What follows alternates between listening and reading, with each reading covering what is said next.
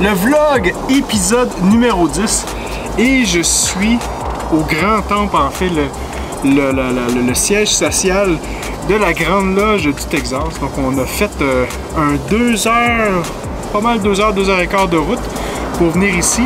On été accueillis, accueillis par un frère qui s'appelle Billy. En fait, Billy a aussi un, podcast maçonnique qu'on va, mettre à l'écran maintenant. Donc, un podcast maçonnique anglophone. Il nous a accueillis aujourd'hui. C'est le directeur, en fait, du musée de la franc-maçonnerie de la Grande Loge du Texas. Et on a vécu un, bon deux heures avec lui, absolument incroyable.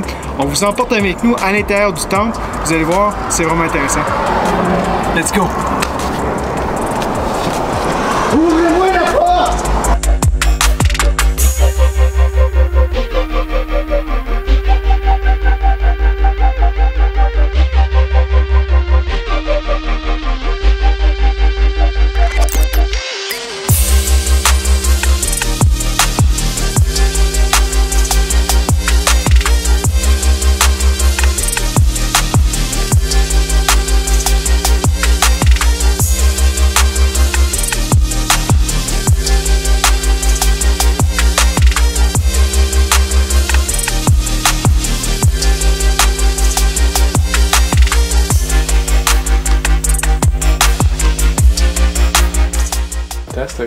Can, can you tell me the, the history of the Grand Lodge of Texas? Um, sure. So the Grand Lodge of Texas was formed in 1837.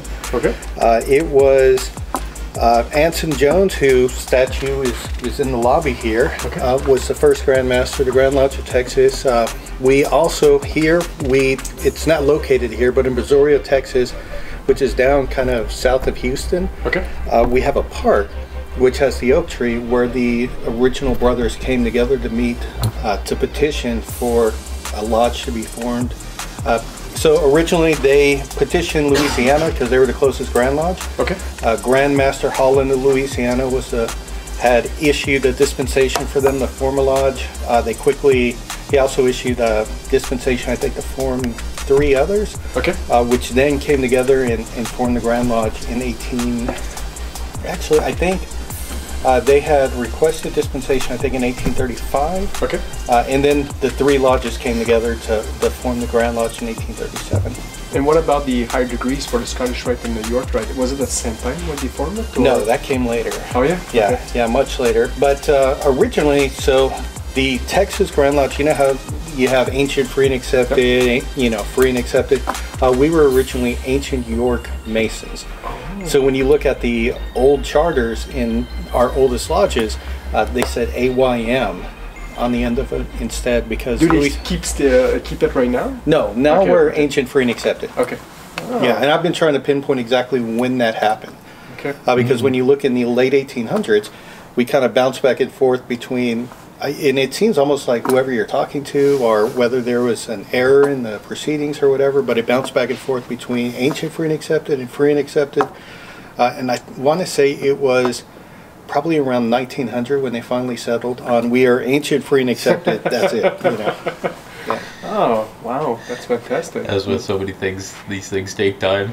Yeah, and I don't think there was any standardization. You hear a lot of brethren today saying, "Oh, well, you know, the ancient free and accepted started with the ancient Grand Lodge, you know, Yeah. the, the ancients from England, Yeah. and the free and accepted were the moderns." Yeah. Uh, but there's really no truth to that if you trace it back. It Oh, yeah. kind of seems like an issue of preference. Oh, really? Yeah. That's super interesting.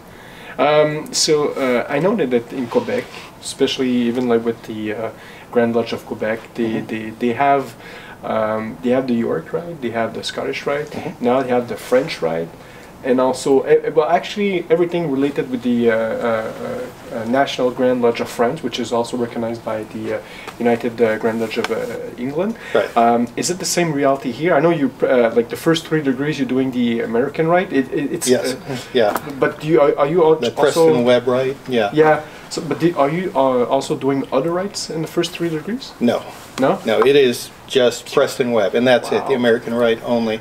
Uh, as a matter of fact, I know Scottish Rite has the first Yeah, three yeah. degrees. My, my lodge has the first three degrees for uh, for for the Scottish Rite. Okay. So so our apron are red and white instead uh, of the blue and white.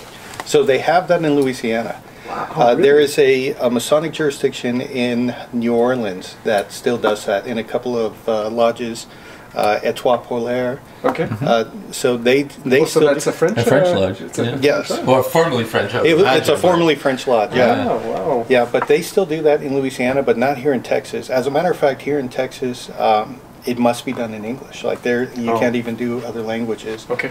Uh, and I've heard some people say, well, you know, we'd like to do it in Spanish because of our Spanish heritage. Yeah, Yeah. for sure. Uh, but no, you can't. Not in Texas. Not at this time, anyway. Okay. You know, unless that gets changed by resolution at some future period.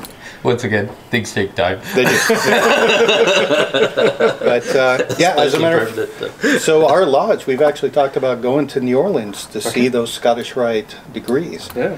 Um, uh, the closest I've seen is I once went to Manhattan when I worked for uh, Verizon. Okay. Uh, I would go t- up there to work in the office, and um, I went to La Union Française, Okay. which is uh, L'Union Française, yeah. So- the French Union.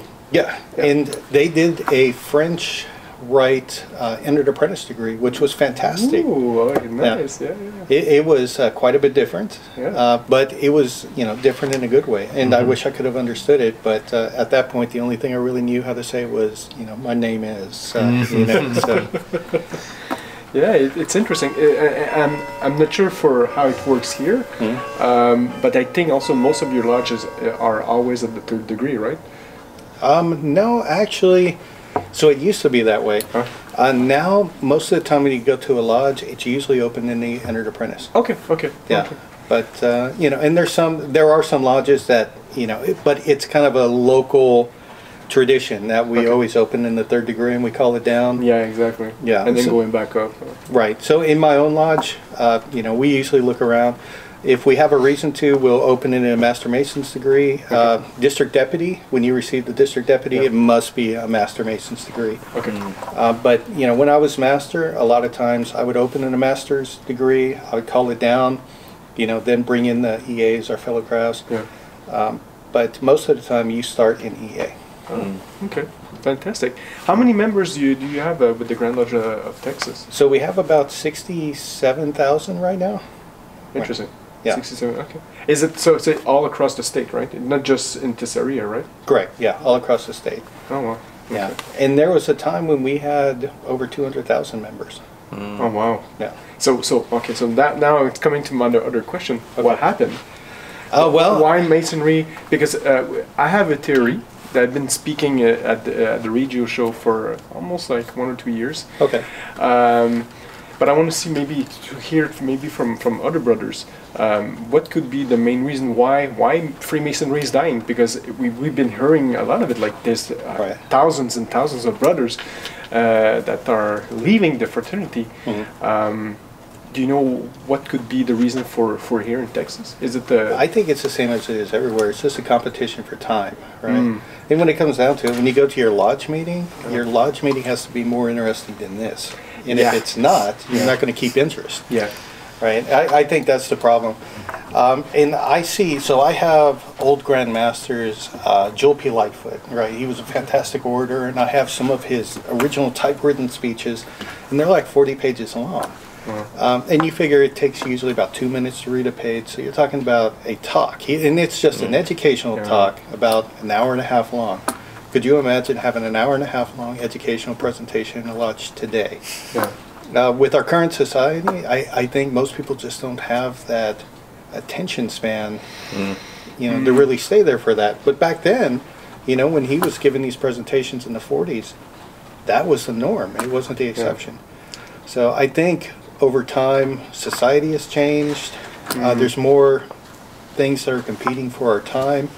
Uh, in our ability to focus for a significant amount of time has become more compressed. Yeah, interesting.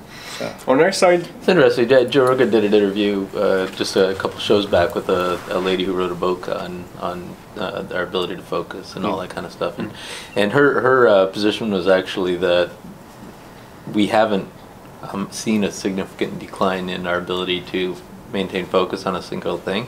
It's just become more prevalent to say that it exists okay. and that and in a in a sense of a way by doing that we normalize the um, that state of it, so the state of inattention, and so people are less um, less inclined to put the effort in to you know doing that work. Right. You know what I mean, and and building the kind of that uh, those um, those habits that end up uh, allowing for someone to listen to those things. So I was kind of interested just to, Well, for the differing opinion on the thing. You know? Right. No, and I mean that does make sense in a way. We we kind of create our own expectations, right? So if we do short, little, tiny segments of, of anything, we create that expectation that everything we do should be short, little, tiny seg- segments, right? Yeah. Uh, I mean, when you think about it, you know, TikTok, right? You have these little tiny videos, and that's become the expectation of, oh, that's entertainment today. Correct. You know. Yeah. Correct. But that, but that, to, to you know, I, I love using uh, Joe Rogan as an example because you know he's like this madman who's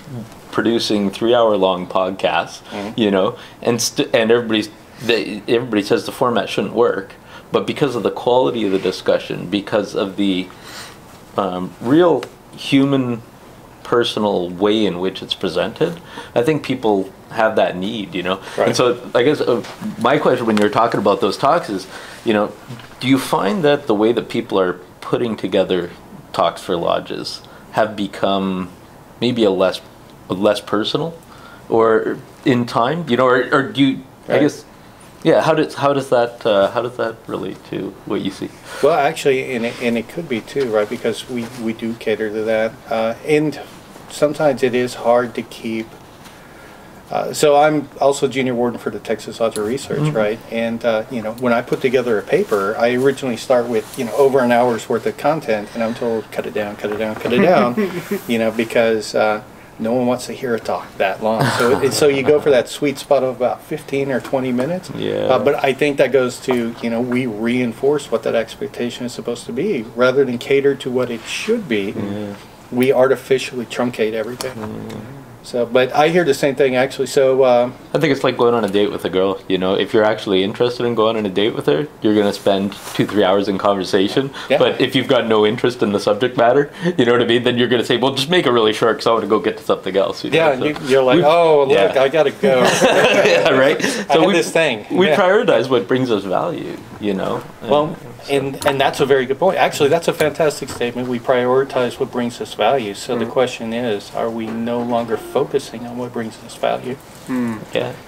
And how do we how do we you know I think how do we listen to the the members Right. so we understand what it is what is they're expecting what it is they're looking for you know we, uh, in listening to a lot of like um, kind of some of the uh, the American podcasts right on, uh, there seems to be a, a significant desire to kind of get um, touch more on the esoterics to kind of get um, more uh, in uh, to kind of change the way that the papers be more about education uh, than history. You know what I mean? Right. And so. I'm, I'm wondering if that's what you're seeing here in the state, and if, if that's if that's starting to like flow into lodge culture now at this point. I I think so because when I give a talk, so again, like I said, I'm I'm junior warden Yeah. of the Texas Lodge of Research. So when I write for that, it's very much history only. Um, but I actually prefer writing about the esoteric, Yeah. and it seems to get more interest. You know, so uh, I actually. I have uh, me and some of the other brothers from uh, Fort Worth 148. We have our own podcast. Really? Uh, and and we do focus on okay, we focus on history, but it seems like the the stuff we get the most uh, interest in is the esoteric. Yeah, Um, absolutely. So I think there's, a, but I think that's that's again more of a societal shift that we're looking for something that kind of gives meaning to our lives. I think that's what kind of what's driving that is we're looking for something more, right? We're looking for that for that connectedness because I think overall, you know, generation over the the last couple of generations, we've become more disconnected, more isolated. Uh, so we're looking for ways to re reforge that bond to other people, to the past, right? To um, you know spirituality, and I, I think that's what's kind of driving that that push towards esoteric topics in Yeah. masonry.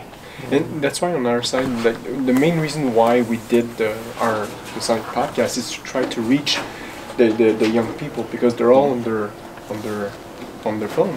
Right. So so and also try to produce content so they can see it too. So Yeah. because at, at one point my impression of Freemasonry was uh, it stayed in one state when we, we actually move here. So I just try to bring it slowly so the young uh, can see it. Say, hey, you know what? It could be good to work on myself. You know what? I could uh, try to to work uh, on uh, on uh, on co- how we say the Pierre uh, in English on the on the rock or The ashlar? Yeah, actually. yeah, yeah, Yeah. exactly. So, All right.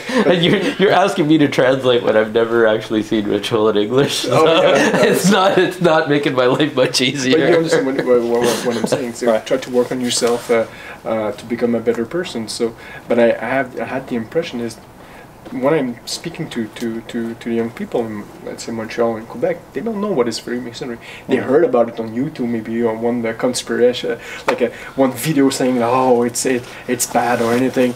Art But- Dan Brown. yeah, oh, oh, yeah, I watched that the brand new series, The Lost Symbol. Oh my God, what's happening here? There's an initiation. Why there's a skull there? Right. But they, they just know this, so that's why I think, and, and it's fantastic. You're also you're, you're also doing a podcast because I think it gives the opportunity to say, no, no, here's real Masons, and here's what we do, Yeah. and here's how we became better person. So, what is the name of your podcast again? It's a Fort Worth 148 podcast. Oh, okay. Yeah. So, and it's interesting though because uh, we are constantly asked, uh, "Hey, can you know you would probably reach a better audience if you cut it down?" Because our our conversations, we have tried to keep it below an hour, and it's like you can't. Especially if you're talking to someone who's really interesting, it's that clock starts starts adding up, and before you know it, it's like, oh, it's been three hours. You know, we better end the podcast. The same thing with the Masonic Roundtable. I think uh, they're not going to be able to do it before, uh, below an hour. It's impossible. Yeah. So, uh, I mean, it's super interesting. Um, ca- is it possible to visit the maybe the temples that we? Oh yeah, absolutely.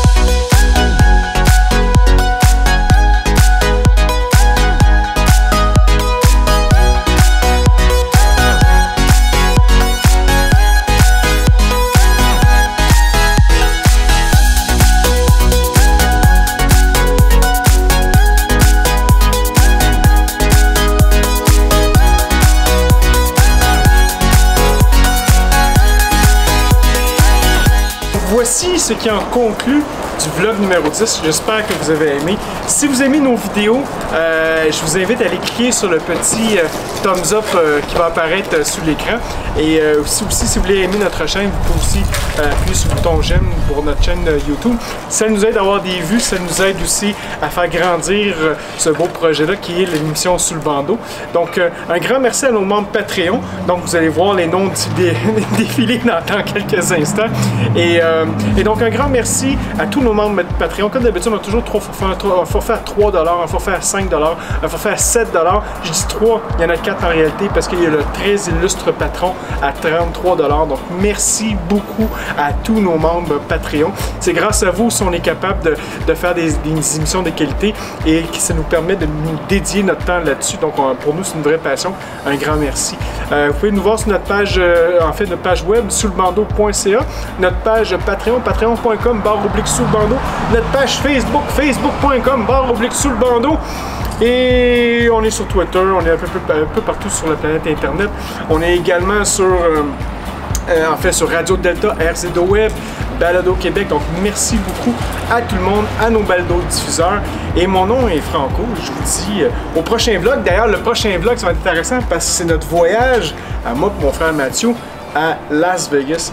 Donc, euh, c'est comme je vous disais quand même précédemment, ce, vlog-là va être un vlog euh, qu'on pourrait dire plus touristique. Il n'y aura pas nécessairement de maçonnerie là, mais on va quand même donner une certaine couverture là-dessus. Donc, euh, à la prochaine. Ciao!